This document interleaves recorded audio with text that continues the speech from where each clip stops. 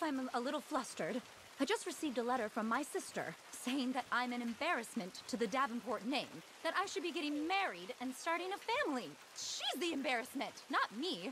I'm on a voyage of discovery.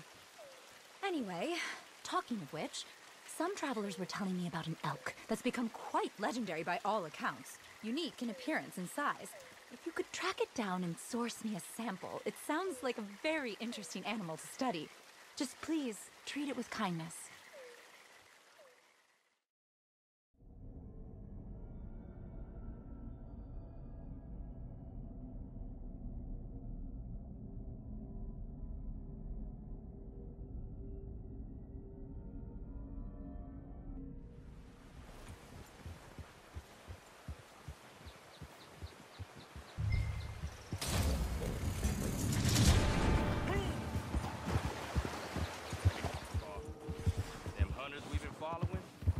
Following, just north of here.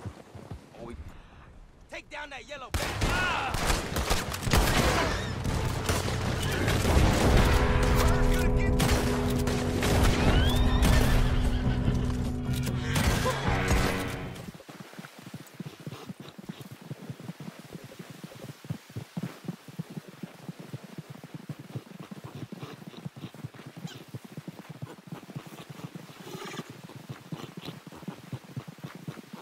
Hallelujah.